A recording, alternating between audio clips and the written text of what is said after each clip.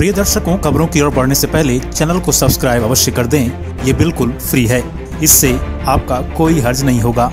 लेकिन आपकी वजह से हमें और हमारी टीम को हौसला अवश्य मिलेगा। तो चलिए खबरों की ओर बढ़ते हैं। बिरनी प्रखंड अंतर्गत रांची दुमका मुख्य मार्ग, बरामसिया के पास रविवार रात एक तेज रफ्तार कार ने तीन अलग अलग स्थानों पर तीन बाइक को जोरदार टक्कर मार दी, जिससे तीनों बाइक चालक समेत आठ लोग घायल हो गए। वहीं एक चालक की मौत घटना स्थल पर ही हो गई। वहीं पाँच की हालत गंभीर बताई जा रही है।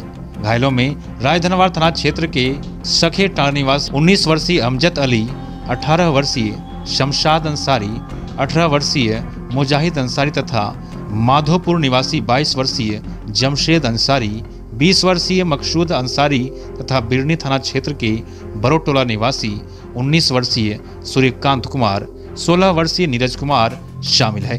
वहीं 18 वर्षीय कृष्णा कुमार की रास्ते में ही मौत हो गई।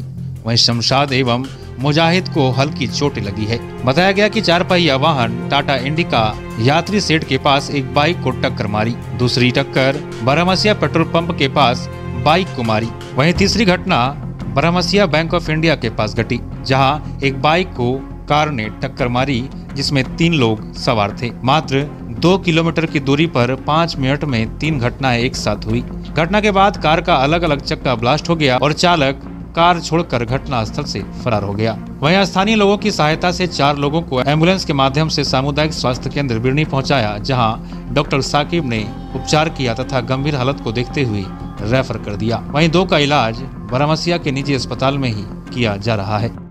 इसके साथ अन्य खबरों से जुड़े रहने के लिए कृपया चैनल को सब्सक्राइब, लाइक एवं शेयर अवश्य करें। धन्यवाद।